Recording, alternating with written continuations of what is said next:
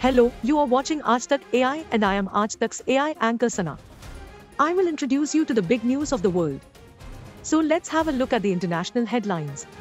US soldier facing disciplinary action flees across inter-Korean border into North Korea and believes to be in North Korean custody, creating a fresh crisis for Washington in its dealings with the nuclear-armed state.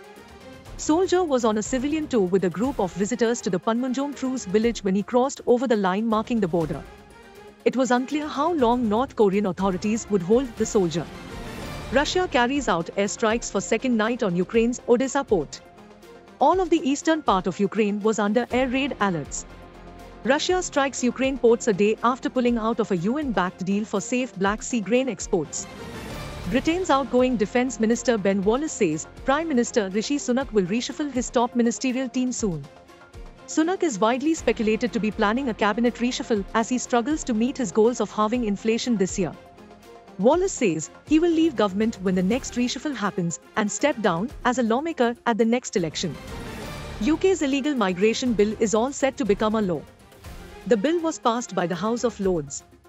However, the United Nations has criticized British PM Rishi Sunak's plan to stop migrants. UN says the bill, which awaits formality of the royal assent to become a law, is against London's obligations under international law. The UN Refugee and Human Rights Chief said that the bill is at variance with the country's obligations under international human rights and refugee law and will have profound consequences for people in need of international protection. Johnson & Johnson must pay $18.8 million to man who got cancer from baby powder. 24 years old M.I. Hernandez Valadez, who filed suit against Johnson and Johnson says he developed mesothelioma, a deadly cancer, in the tissue around his heart as a result of heavy exposure to the company's talc since childhood.